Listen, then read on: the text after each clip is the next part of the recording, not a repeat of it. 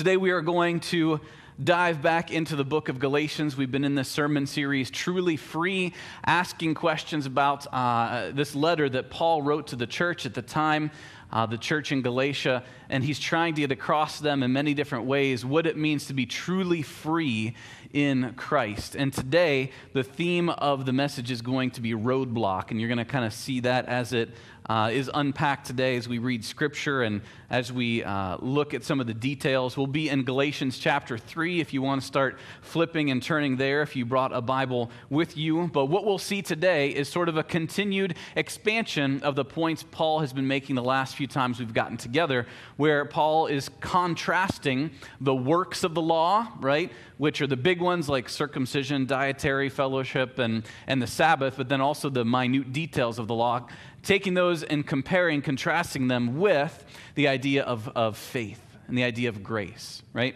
And so we pick it up in Galatians chapter 3, starting in verse 10 and going through verse 14. For all who rely on the works of the law are under a curse. As it is written, Cursed is everyone who does not continue to do everything written in the book of the law. Clearly, no one who relies on the law is justified before God, because the righteous will live by faith. The law is not based on faith. On the contrary, it says the person who does these things will live by them. Christ redeemed us from the curse of the law by becoming a curse for us. For it is written, Cursed is everyone who is hung on a pole. He, excuse me, he redeemed us in order that the blessing given to Abraham might come to the Gentiles through Christ Jesus, so that by faith we might receive the promise of the Spirit.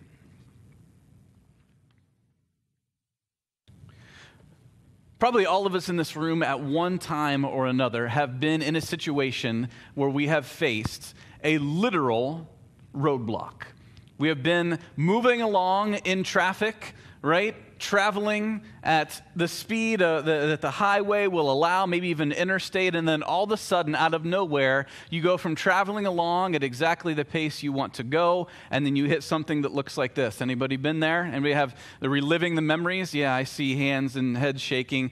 I, I am a firm believer that situations like this are one of the great evidences that we still live in a broken world because, my goodness, when you're, when you're just cruising along and then you hit traffic like this, and all you can see, as far as you can see, are those taillights lit up because nobody is going anywhere.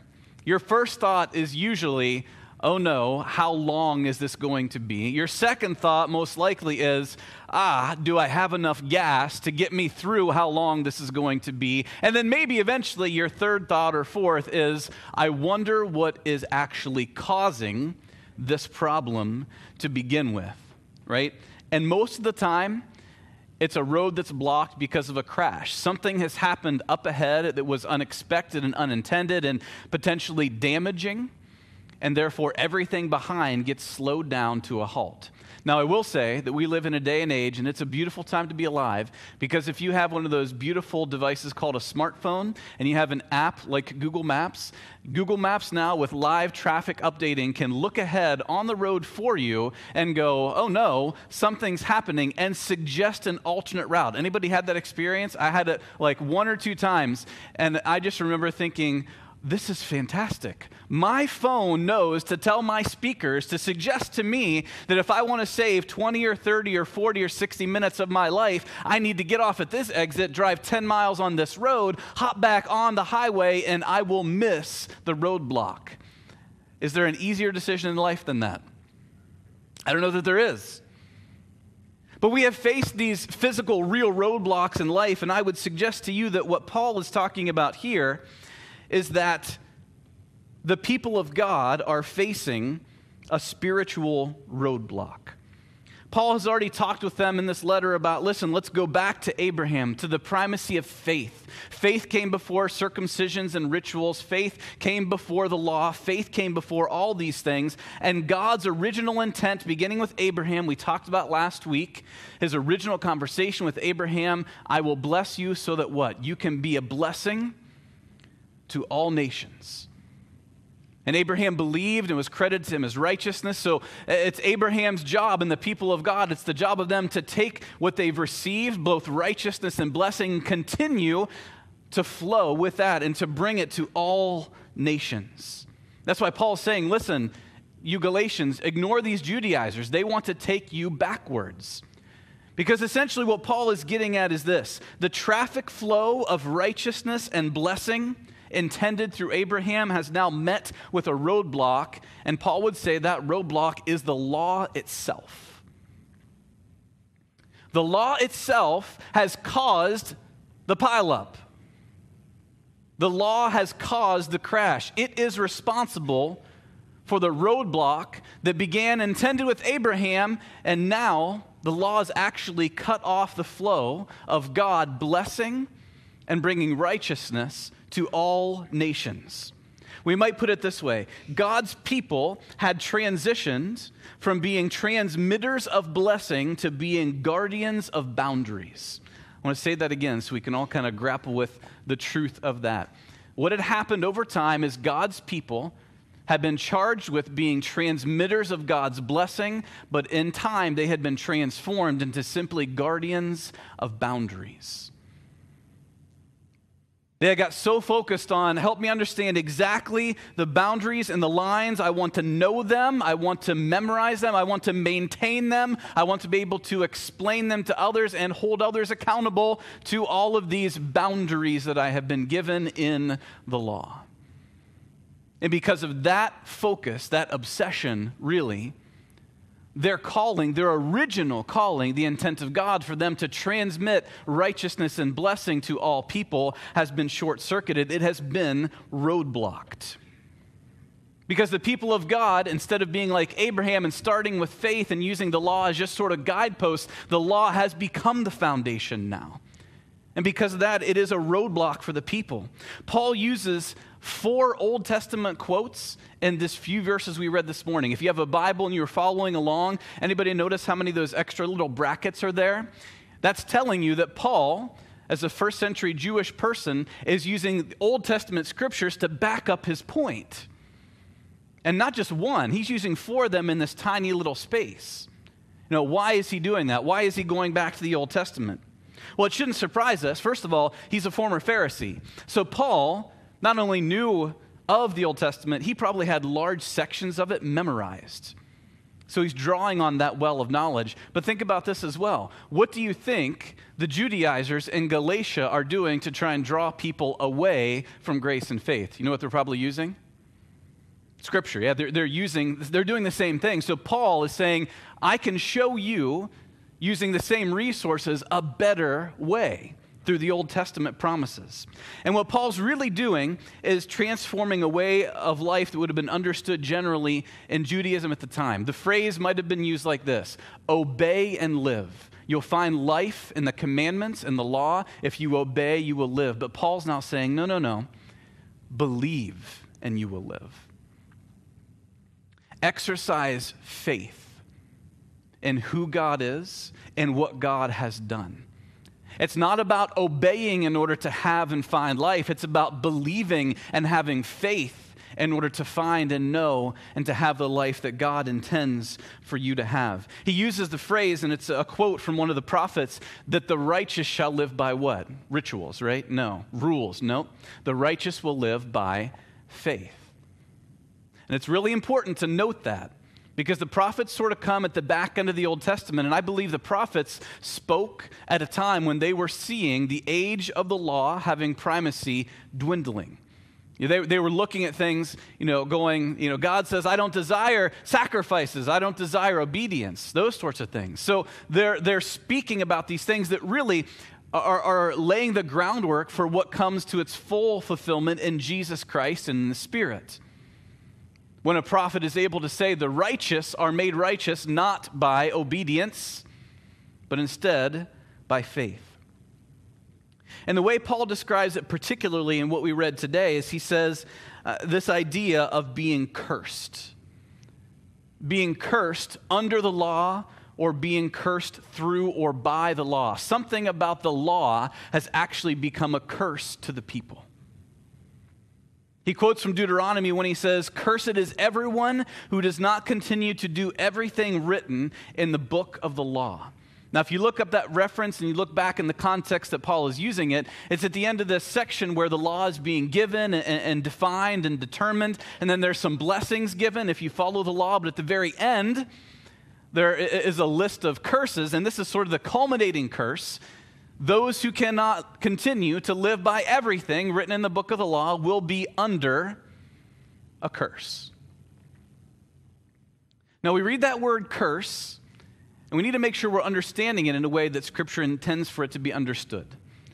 And there are a lot of different ways to talk about this. I'm just going to uh, describe or put forward a couple this morning. Here's one way to think about the law and, and the curse that goes along with it. Think about the law as if it's the speed limit.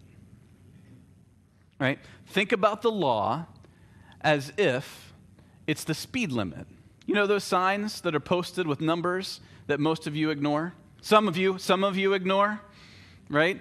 Listen, I've talked to you, I've ridden with some of you. I know that those are merely considered very light suggestions on how you should engage the road, right? But think of the law like the speed limit. Here's what I mean by that. If you obey the speed limit, if you work within it, generally speaking, you will enjoy personal safety and integrity. You will enjoy community safety and integrity. And you will enjoy right relationship between yourself and your car, your car and the road, and all those other people that are driving around on it. The, the speed limit is given so that there is going to be good relationship between you and your vehicle, between you and all the other people trying to drive around on the road. The law was given so that good relationship would be maintained between people and God and between people and one another. However, let's just say for a moment that you think the speed limit, ah, just merely a suggestion. And let's say that you decide, I bet you I could probably go twice the speed limit and be fine. And imagine yourself driving around at over 100 miles an hour, disregarding the law completely, and you come upon a curve that is designed for you to go 55 miles per hour at maximum, and you're going over 100. What will happen? Wow, unless you're a race car driver professionally, you are going to crash, spectacularly crash. And so, what's going to happen is you are going to experience damage and hurt to yourself, to your car, to other people that might be sharing the road with you, and to any property that is nearby. And when we completely disregard the law, okay, you put yourself at risk of danger and damage, you damage people around you, right? All kinds of damage results from that. But then think about it this way what if you decided, instead of saying, oh, the speed limit's not even really that important, what if it became the only thing you cared about when you're on the road? What if you thought the speed limit's the only thing that matters? And matter of fact, it's not even called the speed limit. I'm going to say that that number that's posted, that's exactly the number I need to be at, right there, the whole time. Can you imagine what your driving would look like if you were just constantly focused on maintaining an exact speed? and obsessed with it. You just constantly be looking at your dashboard. You would miss stop signs, you would miss traffic lights, and guess what you're going to cause? Damage and accidents. The people of God had become so obsessed with the law and with keeping the tiny little itsy bitsy things that they had created a roadblock. They had created damage. So, therefore, they're under this curse. Now, it's, again, it's easy for us to read the word curse and interpret it in a way that we have been culturally trained to do. We're, we're, it's, it's easy for us to misunderstand what's being communicated by a curse because we associate the word curse with maybe books that we've read or movies that we've seen, and we misunderstand it. We, we label it like it's some sort of creepy, cultish, uh, formulaic thing. If you're familiar with movie series like Pirates of the Caribbean, you know, if you're under the curse when you enter into the moonlight, then your skin is going to be, your bones will be revealed, and it's pirate gold that caused it, and it's all about blood and restoring these things. And, and we get into this mess of thinking that curses are these things that are so otherworldly and formulaic and just kind of creepy but to be under a curse in the way Paul talks about it is much, much different, right? If you look at the idea of, of living under a curse in the Old Testament, and you look at the Old Testament as a whole, it means something much different. Because people who are living under a curse, the thing that they um, lost was a sense of community. In fact, the, the best way to understand all of the supernatural and spiritual realities of being someone who's cursed because of disobedience to the law can be boiled down best into something that actually happened in the history of God's people, and that is exile. It's when people lived in such a way that they so disregarded the law that God allowed them to be taken away by foreign powers to foreign lands. To live under exile would have been the ultimate manifestation that you were living as an accursed person or an accursed community, exiled outside of your own authority, of your own home. And in a sense, it matches up with what we understand of being a curse, because a curse, you know, there's, there's, there's suffering. It's going to hurt when you're living in an accursed state. But remember this what is the original intent of God through Abraham, Paul keeps going back to? Engaging God in faith so that then you could be a blessing where? To all nations.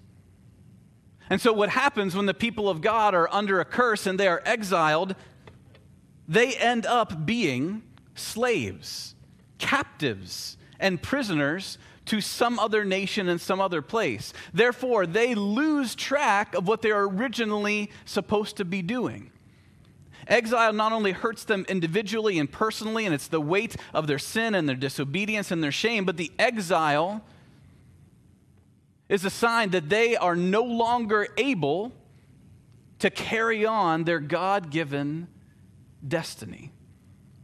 It's hard to be a blessing to all nations when you're being held captive in a particular nation and not able to do the things you feel called to do.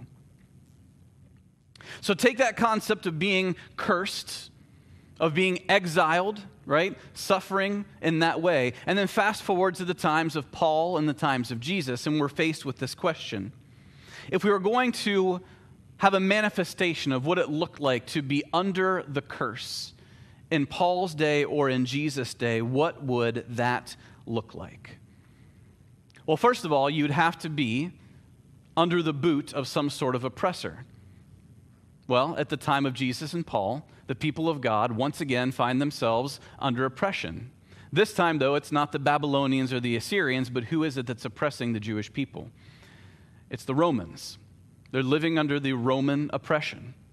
So, what would it look like for a Jewish person in Jesus' day or Paul's day to deal with the fullest manifestation of being cursed, being exiled, living under an oppressed uh, a system in which they were the people who are captives or slaves or being oppressed? What would it look like for a Jewish person in that day to be under a curse? according to living under the Romans? It's easy. It would look like a cross. There is no better representation of the spiritual realities of cursedness in the day of Rome than hanging on a cross. That's why Paul connects it and says, you know, remember in the Old Testament, cursed is he who hangs upon a pole. Jesus essentially hung upon a pole with a crossbeam. In that day, in that age, under Roman oppression, it was the cross that was the fullest extent. There was no other place more in exile than the cross of Jesus Christ. Not only is he taken outside of the city, not only is he hung there by his oppressors, but what does he mutter in some of the last breaths that he has? He says, My God, my God, why have you forsaken me? So if we want to look at a place, to best understand the, the most cursed you could be in the days of Jesus and Paul, there is no other place than the cross. We need to only look there. Which is why Paul writes Christ redeemed us from the curse of the law. How? By becoming a curse for us. Or we might put it this way today Christ, with his perfect life and selfless death, took upon himself our lawlessness. Jesus was vindicated in his resurrection. He died a criminal's death.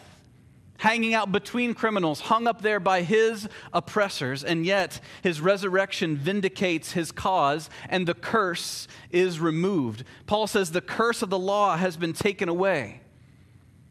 Because Jesus, who lived a perfect life and gave himself in a selfless death, was able to become cursed for us, to remove our cursedness. And so, that cloud that hangs over each one of us because of the ways we have been disobedient to the law, right? No one can be justified by the law. Jesus is the only one in keeping with all of the law, and by doing so, he becomes the one who can take our lawlessness onto himself and offer us freedom from the curse. But the thing is, it's not just about us as individuals. If we go back to the theme of the roadblock, what happens if Jesus removes the curse of the law? What happens if you're stuck in traffic and all you see for miles are red lights and somebody finally removes that which was blocking the road? Well, then that traffic can finally start to flow again.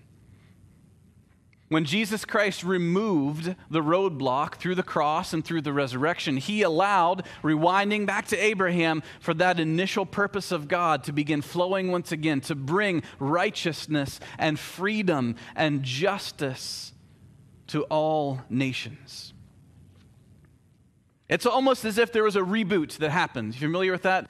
idea, terminology to reboot a computer or to restart a phone or do something like that, to sort of go back to the beginning. And that's what Jesus enables God's people to do. And if Jesus, through the cross and the resurrection, has sort of rebooted us back to the, the primacy of faith that started with Abraham, the question that we're sort of left with is what comes next? Because if you go back to Abraham and you say, yes, Abraham was justified by his faith, well, what comes next in his story? Well, pretty soon the rite of circumcision and sometime after that, the law. And so the expectation might be if Jesus reboots everything back to having faith, what comes next? Is there going to be a new rite, a new ritual? Is there going to be a new set of rules? And I want to tell you, brothers and sisters, I, I, I believe that uh, for whatever reason, church history and even church today is littered with our desire for those things. We get, we get rebooted back to faith in Christ and we start going, okay, what can I do? What rituals can I do? What rules can I follow? It's as if we want a new law. Jesus decided he was going to die in order to free us from the curse of the old law. And the first thing we want, a lot of times, give me a new law. Give me new rituals. Give me new rules. I need to follow those. But what does that tiny band of early disciples, the people of God, what did they receive? Did they receive a new law? No. Did they receive a new ritual? No. What did they receive in an upper room? The Spirit. And Paul talks about it, the very end of what we read today so that you might receive the Spirit. But man, a new law would be so much easier. Just give me, give me a few things I need to do. Give me a few rules I need to follow. But you know where that takes us back to? It takes us back to the law all over again. And said, the people of God, the church receives the Spirit. Th- think about it this way after they receive the Spirit, on Pentecost, what's one of the first things the Spirit enables them to do? Almost immediately. The fire and everything, right? You're tracking? They use their mouth. What are they able to do? Speak in different languages. And th- listen, this is not for show, this is not for demonstration. It goes back to the same idea. Because if you are now the people who have been rebooted back to faith in order to bless all nations, guess what it helps be able to do? Speak in different languages. This is a sign that things have been rebooted back and God is on a pathway. His intention is going to be fulfilled once again. And it's not just the words that they spoke. If you read the book of Acts, there's a new directionality to it because where does it begin? In Jerusalem, but does it stay there? No. The entire book of Acts is moving outward. By the leading of the Spirit and by the persecution that happened to them, I mean, they could have hunkered down and said, We're just going to wait it out, but they didn't. The Spirit and the persecution led them outward.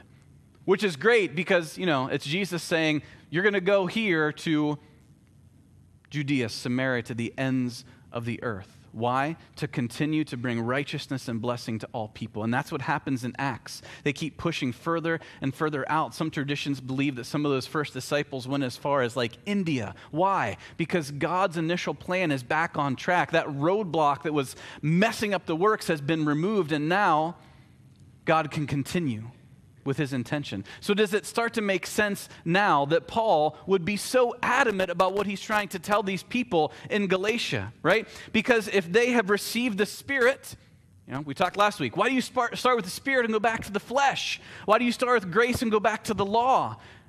It's not even a new law. They're trying to drag you back to the old law, and we already know that didn't work. That's why he's so adamant saying this is about faith exercising faith because the curse of the law and the entire old system that it brought with it has been lifted in Jesus Christ. So, just a few things to think about and engage with as we finish, because we don't just want to listen and read the word, we want to respond as well.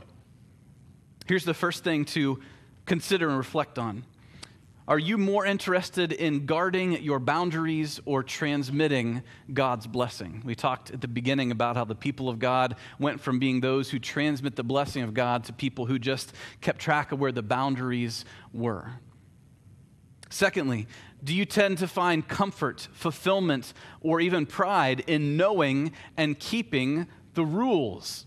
This is sort of a personality thing. Some people really love to know and keep the rules. There's a certain value in that. That's not always a bad thing, leads to some good compliant behavior. But if that attitude spills over into our spiritual formation, it's going to be detrimental. Next, have you surrendered to the cross of Christ in order to remove the curse of your shortfalls and your failures? Essentially, uh, do you understand the gospel today?